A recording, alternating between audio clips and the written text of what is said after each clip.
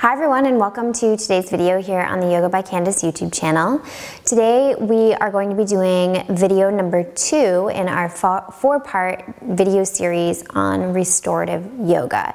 This video is brought to you by Carolina Morning, who is so generous enough to send me these bolsters that I have here that I'll be using in the video. So I'm loving these bolsters for so many reasons. Um, first and foremost because of their exceptional quality. I also love that they are rectangular rectangular, so you have lots of different height options when you go to practice. And I love that they're a US based company, so check them out. You can find them at zafu.net, Z-A-F-U.net, and I'll put the link in the description box so you can check them out. Without further ado, find a seat on your mat and we'll get started.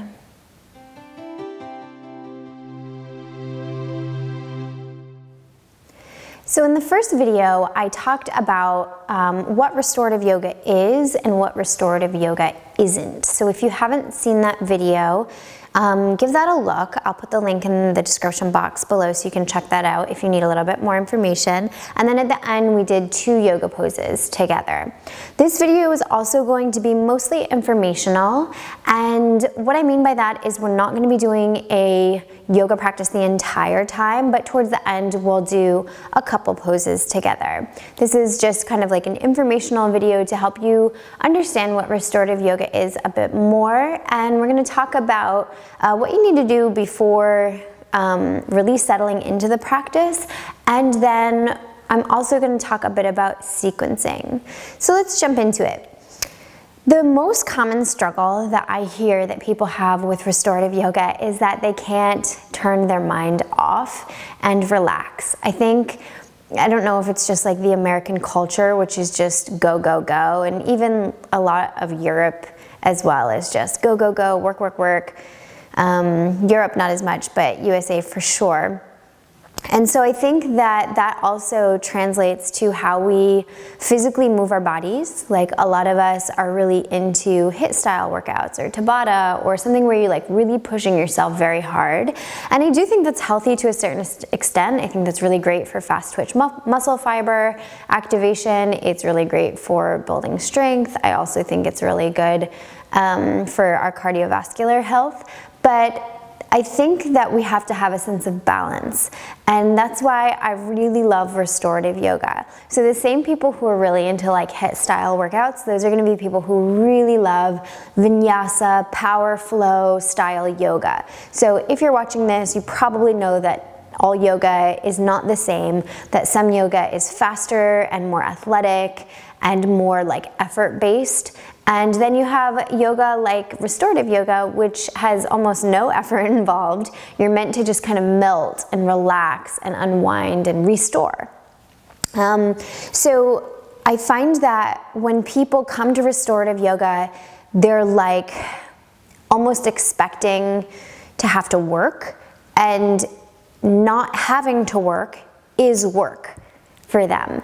And I'm, I completely know what that's like. When I first came to restorative yoga, I didn't really like it at all.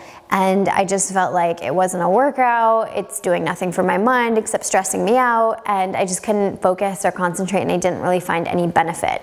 I was also like 15 years old. So, so there was that aspect to it as well. And then when I got more heavily into yoga, like in my 20s, I still didn't really love it. And it was only really in the last, like, I don't know, seven to 10 years where I really started to love it so much and really enjoy that that activation of just like turning the thought switch off and allowing myself to think nothing and just like melt and be and finding this really great space between being active and alive and vibrant and being asleep because you're not really asleep at all but you're not really like fully awake either so I liked finding that middle ground and I liked the challenge of finding that middle ground after a while, but it did take me some years to really fully appreciate um, the practice and get it. So let's address some of those issues. The very first issue that comes to mind is um, the monkey mind, where you, you come into your pose and then you're like, I have to do all these other things. Why am I wasting an hour of my time? I've got a to do list a mile long. Oh, remember that email I have to respond to? So, all these thoughts are running around in your mind, and all of a sudden you're like, this is not serving me in any way. This is just kind of stressing me out. So, if you're somebody like that, what I would say to do is to see if you can Listen, if to-do lists are on your mind, I guess before you go to, the, to practice restorative yoga, just write down your to-do list or write down, do kind of like a brain dump. And then that way, everything that's on your mind is on a piece of paper so you're not gonna forget it. And you can just let yourself have this time on your mat almost like self-care. Like for this next, you know, 20, 30, 45, one hour, I'm just going to take care of myself and I'm not going to think about anything else. And that's kind of what you can do. And you can prepare yourself for that by doing that brain dump on a piece of paper so you know in the back of your mind, like, okay, everything that I've got going on in my life is on this piece of paper so I don't have to think about it or worry about it. It'll be there for me when I get up out of the practice. The other thing you can, that like kind of stresses people out is wondering, am I doing this right? So maybe you're not thinking about the things on your to do list, but maybe you're like, Oh, did someone's phone just buzz and vibrate? Oh, I wish they had turned it off. Oh, I'm a little bit cold. Hmm, I can't really hear the teacher. Should I say something? I don't want to interrupt her. And like you have this kind of narration going on in your head, and then you're like, Am I doing this right? Because I'm not really stressed out about what I have to do in the future, but I can't seem to like just fall into this zone and get in the zone really quickly. So, what do I do? And am I doing this right? Well, uh, no, you're probably not like doing it right, but you're closer than the person who's like thinking about all the things they have to do in their to-do list, right? Because at least you're in the moment, so there's that. One thing I would advise is I think that sometimes when we talk about meditation or a slower style yoga practice, there's this common thought that we have to be able to turn off our brain. And the fact of the matter is, I don't think you necessarily have to turn it off so that you think nothing and there's no brain activity going on. But I think there's a nice, I'm a really visual person, so one of the things I picture in my mind's eye is a light switch. And I just like think of that, think of my thoughts and that constant narration. You know, when you're watching a TV and there's like that ticker at the bottom of the television, that's like kind of how our brains are. They're constantly narrating we don't really need that narration. So what I picture in my mind's eye is a light switch, and I just think, okay, just for right now, I'm gonna turn this light switch off and let that ticker just turn off. And I picture it in my mind's eye like a TV and just clunk, I turn it off. I know it's there if I want to turn it back on, and that kind of eases any stress or anxiety that might come up. But I picture a light switch. Another image that might work for you if you're more of a visual person, think of a volume knob, and you can just say, like, okay, just for right now, I'm gonna turn the volume of my thoughts just down a little bit so I can focus on the task at hand, which is relaxing and not thinking about all the things. So that might be something that's really helpful to you, or if you're a teacher and you, you're not really sure how to convey that, you could use those two images and see if they help people. So essentially, you want to give yourself a little bit of time to quiet our minds, because our minds have like, they've not really evolved with the rest of our body. So our mind is constantly thinking about trying to keep us safe. And so, in, but instead of like being on the lookout for tigers and lions and bears, like way, way, way back thousands of years ago, it's thinking about the to-do list. Am I doing this right? This is stressing me out. Narration, all the things, right? Giving us constantly this like low level stress or anxiety or just the noise of the narration. And so if you begin your practice, the best thing you can do to have a successful practice and a nice, fully and truly restorative practice is to give yourself that time to just settle in and let your mind quiet down and calm down. You can think of your brain like a small child and it just needs, needs a minute to just cool down and chill out. So before you really drop into the practice itself, give yourself some time to relax and just kind of get in the zone. So how do we do that? Well, a couple things. You could start seated like this and just take a couple deep breaths in. Let's do that together to see what that feels like because a lot of the day we're just going through our day breathing without really thinking about breathing and often we are breathing shallowly. What that means is that we're not really using our lungs to their fullest capacity so we don't get that deep diaphragmatic breath we get kind of like a shallow breath. And yes, we do, we do use our diaphragm because you can't breathe without your diaphragm, but it's not, uh, it's not like a full, relaxing, restorative breath. So we're often breathing up here very shallowly. And if you're a very stressed out kind of person, then you're probably talking really fast and you're moving around and your muscles are up here as you drive, which also can like conflicts with how your body wants to breathe. And so we don't really do ourselves any favors when we're just like rushing from thing to thing to thing and not taking the time to be still or take a few mindful breaths. So that can really do wonders for our parasympathetic nervous system when we stop to take those deep breaths. So sit really tall, and if you find it uncomfortable to sit tall like this, and a lot of people do, especially if they have tight hips, one of the things you'll notice if you're a teacher or you'll you'll notice in yourself if you're a student, if you're sitting like this and it's uncomfortable for you, then what's happening probably is that your your low back is kind of reaching back behind you. This is called a posterior tilt of your pelvis. So you would want your pelvis to be like this and what this is doing is elongating my spine but if you're restricted through your, your hips and you have tight hips then you might be like this. And if that's the case just grab a block or you could even sit on the edge of your blanket or you could sit on the edge of your bolster and just sit on the very edge. You don't want to have it like jammed underneath you because then it doesn't really tilt your pelvis forward enough. So just sit on the very edge of it like this, and what this does is help to give your pelvis a little bit of a tilt that it needs so that you can sit comfortably nice and tall. And the reason why we want to sit nice and tall if we're practicing our breathing is because when we're hunched over like this, your lungs can't really, they don't have a whole lot of space. So imagine you're like a lung and you're crouched into like a phone booth like this and you can't really expand. You can't get any good breaths in. So that's why we want to sit up nice and tall and that opens up all the space here for our lungs to take a nice deep breath in. So roll your shoulders back because once again, if we're like this, then our lungs don't have a lot of room to breathe and move. So roll your shoulders back. You can choose to close your eyes or not. Tilt your chin until you feel like it is parallel to the ground. And what that does is bring, it helps to bring our cervical spine in a nice neutral position. And then take a deep breath in through your nose. And as you do, imagine that you're filling up your belly first. And then, halfway through the breath, your ribs feel like they are expanding laterally to the side. And at the very, very, very top of that breath, take one more sip into the chest area. And then exhale the same way you you from the reverse. So exhale from the chest first, then let the mid ribs go in to their neutral position.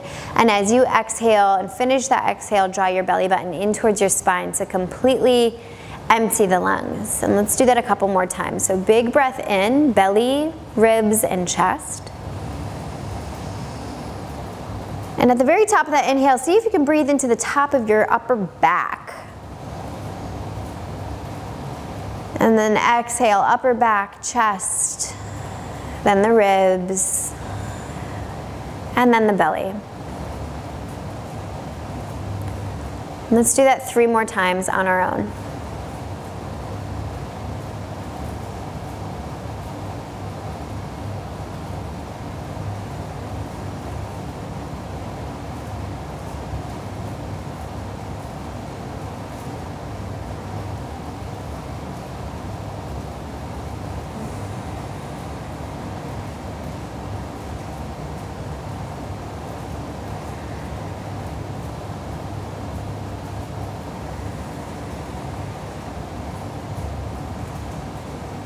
And at the end of that exhale, flutter your eyes open.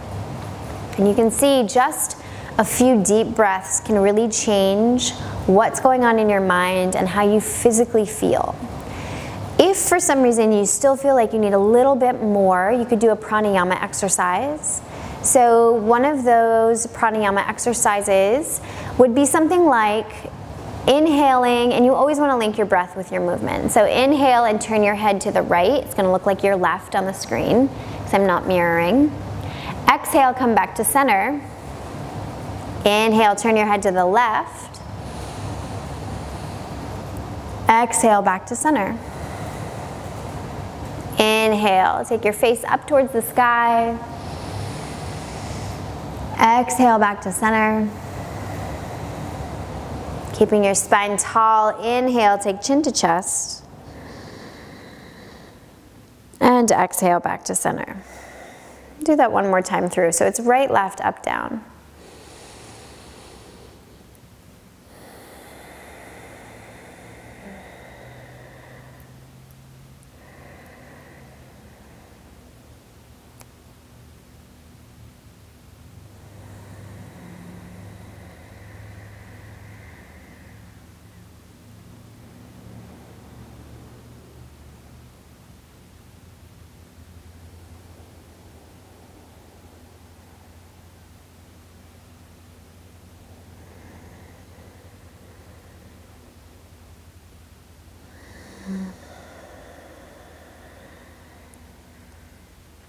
When you're ready, flutter your eyes open.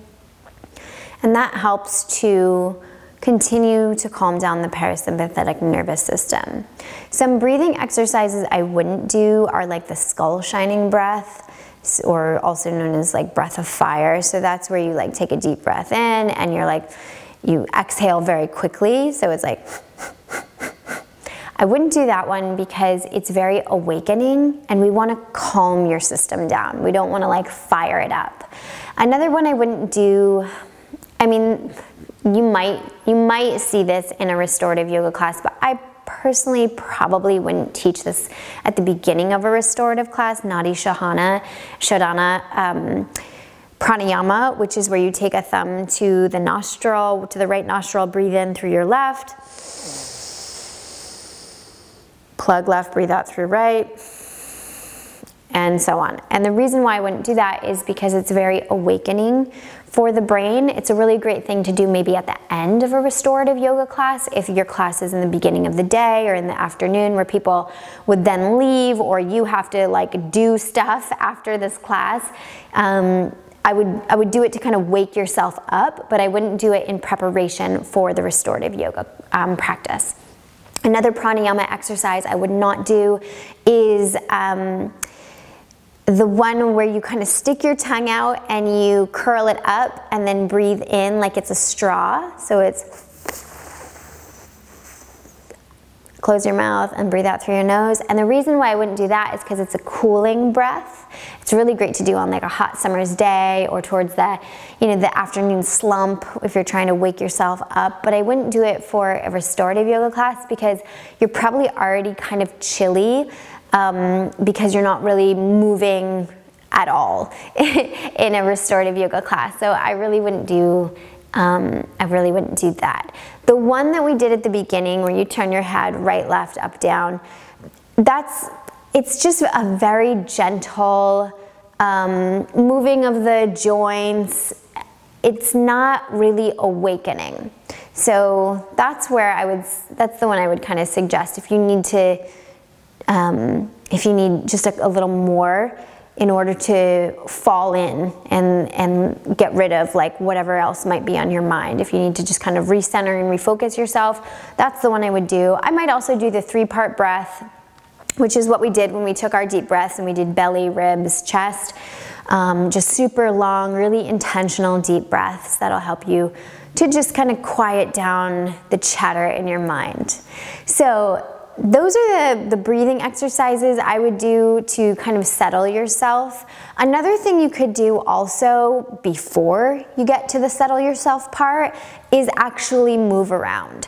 So if you're super stressed out and you know that the restorative yoga practice is going to be really good for you, but you have a really tough time, like your, your body just wants to move, what I would do is actually move around. So if you wanna do a very short, like five or 10 minute vinyasa flow or you want to do a sun salutation or something like that, just to kind of like dance it out and get it out of your system kind of like with puppies you know or with dogs in general. Like before they will settle down and, and rest they've got to get that energy out. So they'll run around they'll play and then then they can calm down. So if you feel like your body really needs to move first feel free to do a more athletic practice or athletic um, workout and then come to the restorative piece and start with your breathing exercises and then you know come into the practice. So just make it work for you and find instead you know i think a lot of people get really frustrated because they're like oh meditation doesn't work for me or restorative yoga it's just not for me. Well it can be for you but we just have to find the right path to get there. So just know that there's real really no right or wrong way to kind of prepare for it. Just do what works best for you so now that we're ready to practice restorative yoga, we want to think about sequencing. And I say this for a couple reasons. One, if you're a yoga teacher, um, probably your, your yoga teacher training uh, went over this. If it didn't, you should um, maybe consider coming to our yoga teacher training. Um, I'll be hosting one in April 2020 in Santorini, Greece, and I'll be hosting a, hosting a 300 hour one in Thailand in July of 2020. Okay, but if you are just a student and you're gonna practice on your own, here's some things to think about. And in my teacher trainings, we go way in depth, but this is just like a quick thing to keep in the back of your mind. You don't really want to have people be going up, down, up, down, moving around. So in the very first video, I said in a typical 60 minute class, you might have only four to six restorative yoga poses, which means you're really holding them for quite some time. So you have to know what poses you're gonna do ahead of time to make sure that it's going to work for your body and that it's a comprehensive practice for whatever your intention is. So for example, if we're just going for like a total body um, relaxation, restorative practice, we might do poses that are gonna target the hips, the chest, um, the, the glutes, that sort of thing, the low back. So we want to think about all of these things as we, we want to think about the muscle groups we want to hit in our sequencing as we sequence it out. But one thing to consider is because it's such a quiet, gentle, restorative practice, we don't want people to be in, like let's say, let's say we want to have supported fish pose, which is this. So it's a supported fish pose and we're also supporting the low back with the, the knees over the bolster. So we wanted to go from here and we also want to do caterpillar pose, which is this. And we also want to do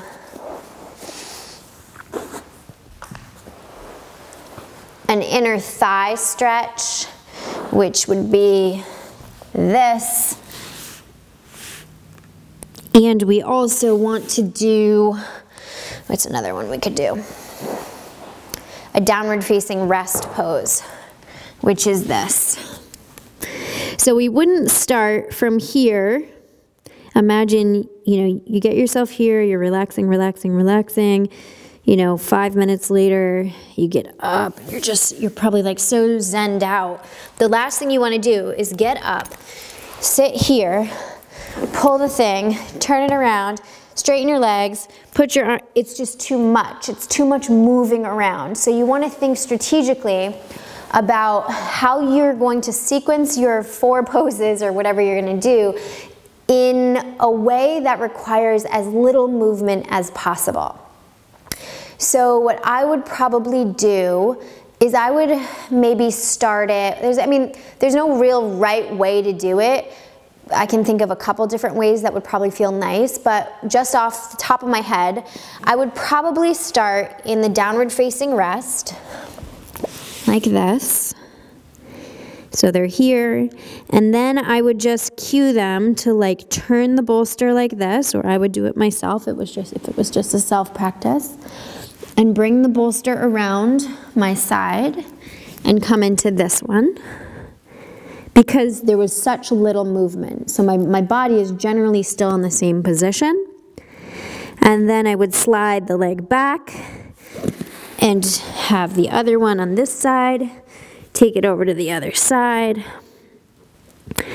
Da da da da da, we're here for five minutes, slide my leg back, and then I would probably gracefully cue like a just a regular child's pose. You can like quote unquote flow a little bit between poses. So you're not actually flowing because we're not going to do an, an actual vinyasa or a downward dog or anything, but you could take a quick child's pose like this and then slowly walk your way up and send your legs out in front. And then we'll do the caterpillar pose. Then we're here. And now my body, if you look at the shape of my body, half of me is where we want it to be for our final pose, which was that supported fish. So after five minutes, I would come up, bend the legs, rotate out with the bolster, place the legs over, send my bolster back, and send myself back. Ah, feels so nice. So that's what I would do but I mean, sometimes it's tough because there is going to be movement. There's no way that you could have like a really nice comprehensive restorative yoga class where there's zero movement at all. So don't feel bad if you have to move, you have to have people move around between poses or if you yourself if you're practicing for yourself and you've designed it, you know, for your own self practice and you have to move around a lot, that's okay. We just want to think strategically about it and have as minimal movement as possible so that people stay in that zened out, chilled out, melty kind of in between state where they're not totally awake and not totally asleep.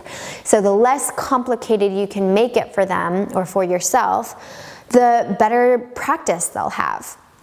So think strategically about how you're going to practice and um, and that's my, my biggest tip. We really also want to avoid doing back bends, forward folds, back bends, forward folds, because that's not great for our spine. So that's another thing to keep in mind. But for the most part, you want to just think about having your body shaped um, in the correct position so that the next pose that's coming is like sort of similar in that to that shape. So just keep that in mind. So what I'd like to do now is do those four poses with you. So bring your bolster to the back of your mat.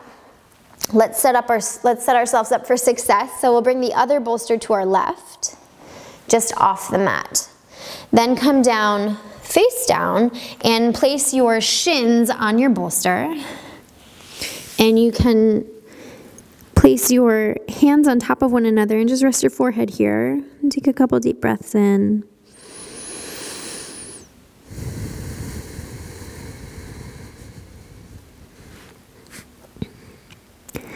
Now, there are a few ways to do this if you are leading a class or if you are doing a self practice.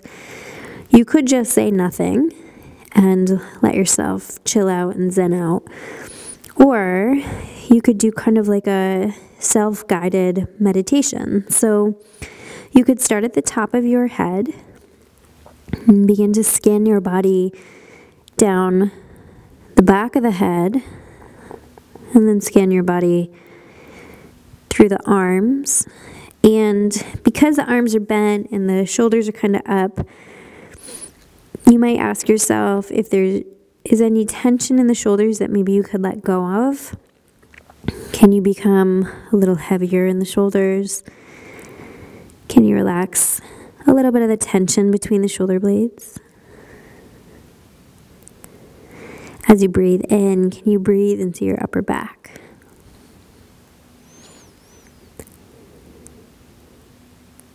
As you scan your body down your back, can you feel your hips super heavy? Can you feel your legs fully supported on your bolster?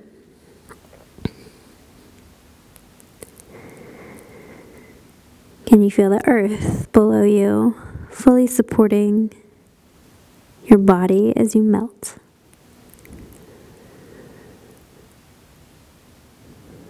Can you let go of your intentional breathing and just let your breath come on its own? But focus specifically on your exhales for total relaxation.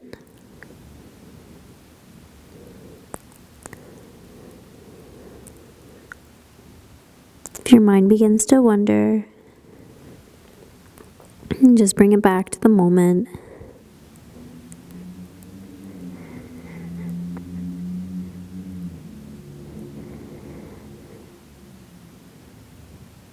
And then, as you're ready, bringing a little bit of awareness to your feet, taking your left foot to the side of your bolster and just sliding it out to the right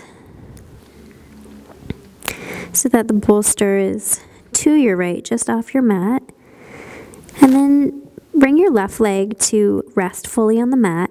And externally rotate your right leg and lift it onto the bolster. And exhale through your nose. Big breath in through your nose. And this time, exhale through your mouth. And bringing your awareness once again to the top of your head. And slowly scanning your body, the same parts as last time, just checking in and noticing what's different in this pose compared to the last pose.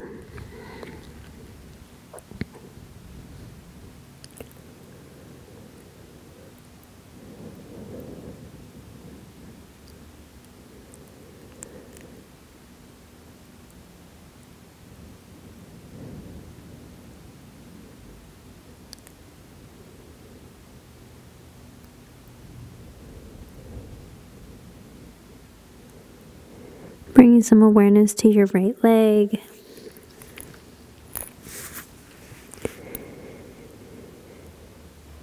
To the inner thigh. Just noticing the heaviness of the body. The support that the bolster provides.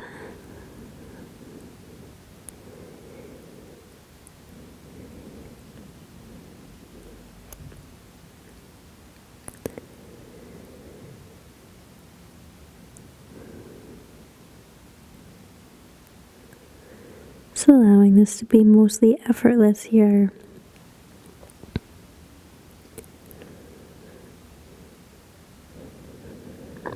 And then as you're ready, slowly slide your right leg back behind you.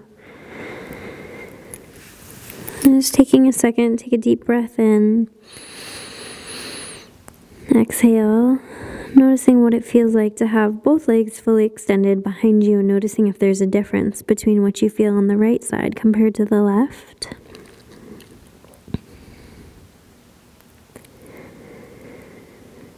And then as you're ready, externally rotating your left leg and bringing it up onto the bolster on your left side.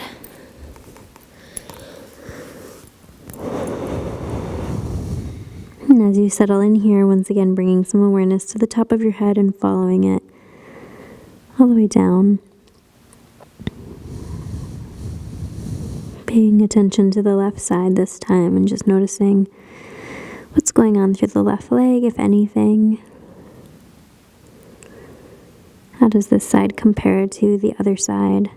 And whether there is or isn't a difference doesn't really matter. It's more about just being aware and tuning in and noticing.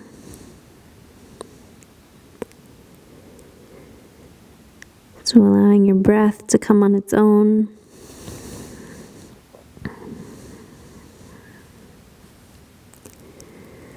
Noticing heaviness and almost like a sinking sensation with each exhale as you totally relax and let go of any tension You can always think about the big places where tension may hide, like the hips or the shoulders.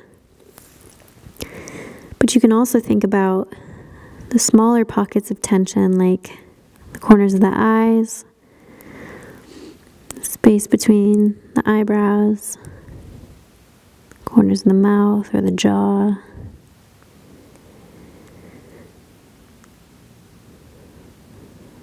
And then using your breath to just relax those areas.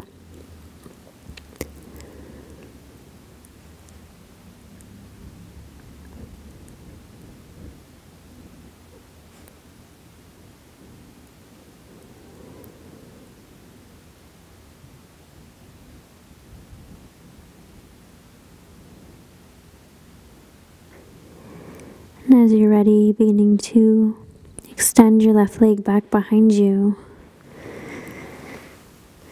Taking a moment here to notice what it feels like to have both legs extended back behind you.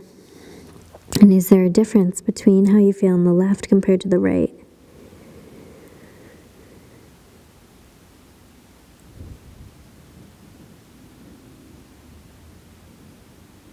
As you inhale, send your hands underneath your shoulders.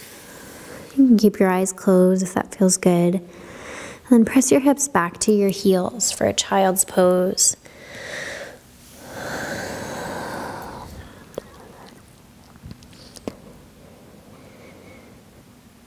And then as you inhale, rise up. You can send your feet out to the right. Your hips can come down to the ground. And send the bolster that's on your right out in front of you and extend your legs out in front.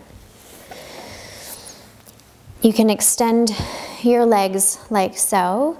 If this is not comfortable for you, you can just bend your legs and place your feet on the ground. And you can draw the bolster in towards you and then stack your hands. If your head still doesn't reach, just use whatever props you have. Like a block could be nice, and you just bring the forehead down.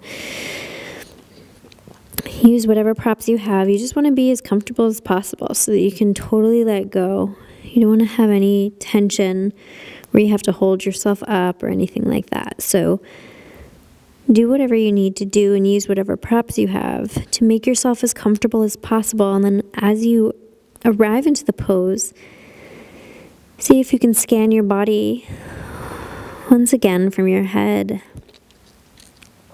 down and just check in and ask yourself can I let go a bit more? Can I be heavier here?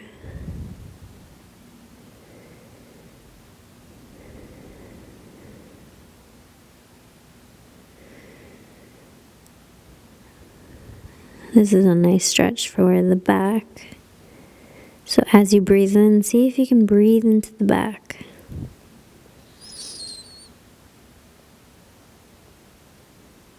And as you breathe out, see if you can become heavier,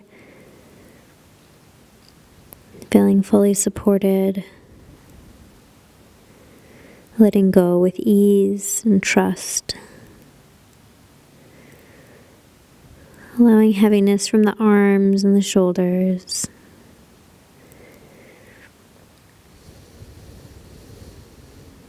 With each exhale, a little bit more relaxation.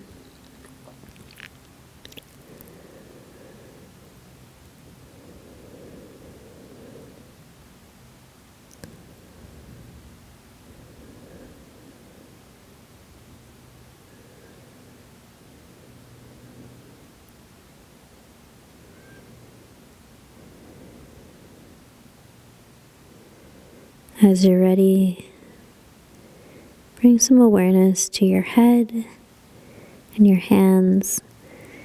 And slowly press into your hands to lift your head.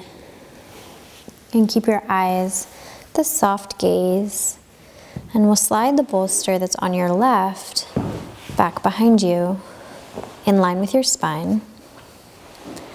And the bolster that's in front of you We'll just turn it perpendicular to the mat and drape your legs over top. If you have a blanket, you can use your blanket and just spread it over your body or your legs or whatever feels good. Bring the bolster that's back behind you in line with your spine and then push it about halfway, or sorry, a third of the way back, and slowly send your way back. And you can open up your arms out to the side, palms facing up. With your eyes closed, take a deep breath in through your nose.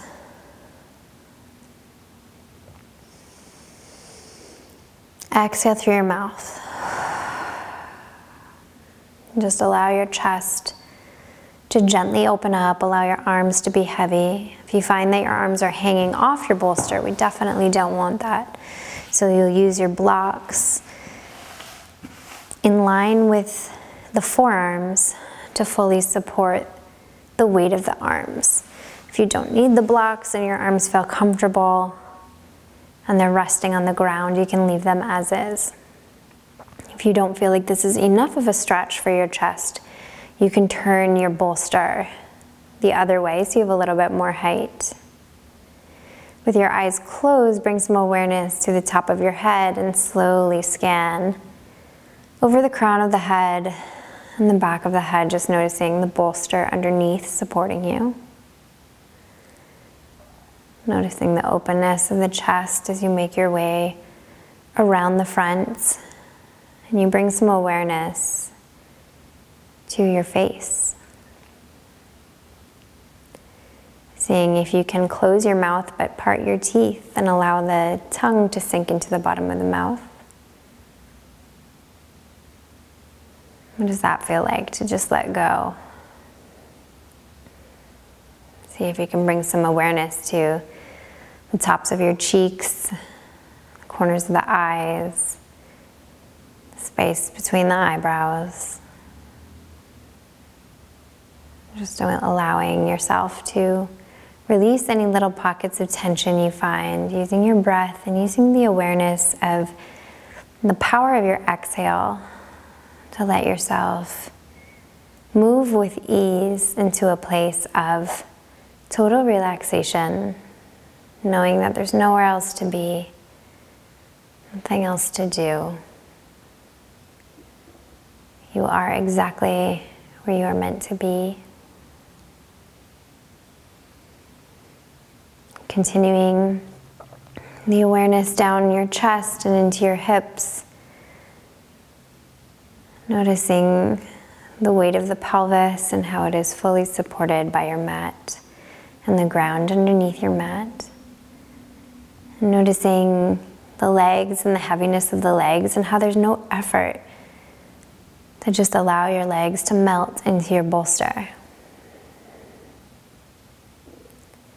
If you have a blanket on, just noticing the weight of the blanket and the warmth that the blanket creates.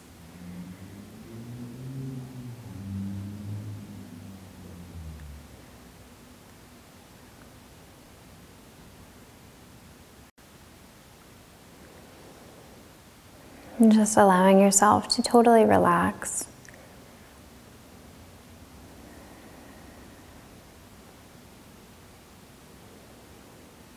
taking the pressure off and giving yourself this moment of pure relaxation.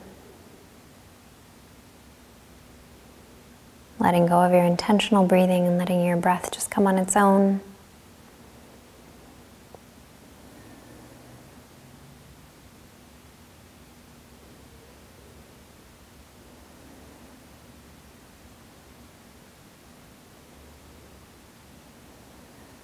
Giving yourself permission to go into that space between totally awake and alert and asleep. Just finding that happy middle ground.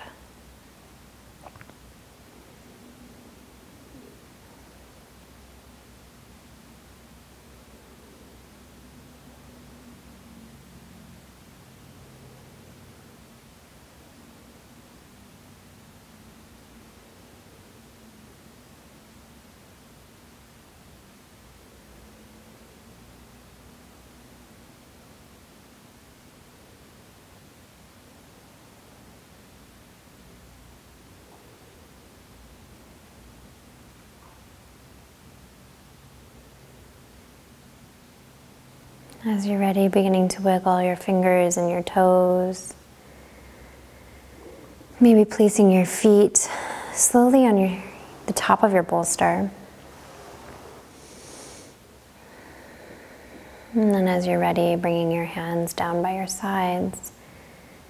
And slowly and mindfully pressing into your forearms to lift your head, and then into your hands to lift your body finding your way into a comfortable seat. So that is how I would sequence those four poses. If I were teaching the class, I would go much slower and I would also walk around the room. Actually, teaching restorative yoga is so much more demanding, in my opinion, than a vinyasa class because I do try to walk around the room and quietly, move the props um, to a place where they can easily access them based on the position that they're in so, they, so that they can get into the next pose easily and quickly and without having to do too much complicated movement. So actually, I'm the one sweating when I'm teaching a restorative yoga class. I did find that talking you through these particular poses was really challenging, especially when I was on my belly, because I felt like I couldn't get enough air in to continue to talk. Um, so I apologize if it was like really breathy because I just felt like I couldn't I couldn't breathe. So I apologize for that, um, and I also apologize for going a little quicker than I normally would. Um, part of the reason was that I couldn't really breathe, so I apologize. Anyway, that's how I would do it, and I would encourage you to consider, um, you know, when you're designing your own restorative yoga practices, to keep those points that we talked about in mind, setting yourself up for success by really calming your mind down, quieting your mind down with some breath work, or maybe a little actual active yoga first or active workout first, then do the breath work, and then come into your poses. The other thing you might have noticed is that there was extra time between each pose. Like it took a minute to like get from pose A to pose B, and then it took another little, you know, minute or two to settle into pose B. So keep that in mind as well. Don't rush it. Just let yourself really enjoy each breath in the pose and allow yourself to totally relax if you can. I hope that you guys enjoyed this second video in the four part video series on restorative yoga. If you have any questions or comments, leave them in the comment section below and I will answer in the next video that I create, or if not, I will answer your comment um, in the comment sections because I always do try to read each and every comment on my channel. So thanks so much for tuning in. If you like this video, please give it a thumbs up. If you feel like it might behoove somebody in your life to watch this video, please share it with them. That would really mean the world to me. I also have an app which is called Yoga by Candace. It's just one word. You can find it in the iTunes App Store. The Android Google version is coming soon. But if you have a friend who might benefit from this video or others that I've done, you could just tell them to download the app and they'll have access to the hundreds and hundreds of yoga videos that I have there, as well as access to my blog where we have daily content Monday through Friday. So thanks so much again for tuning in and I'll see you very soon here on the YBC YouTube channel. Take care.